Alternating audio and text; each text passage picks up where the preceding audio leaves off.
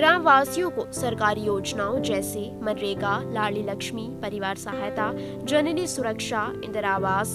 हमें इंदिरा आवास योजना सब कुटी मिली राष्ट्रीय कृषि बीमा कपिल धारा कुआ मुख्यमंत्री कन्यादान का पूरा लाभ मिल रहा है।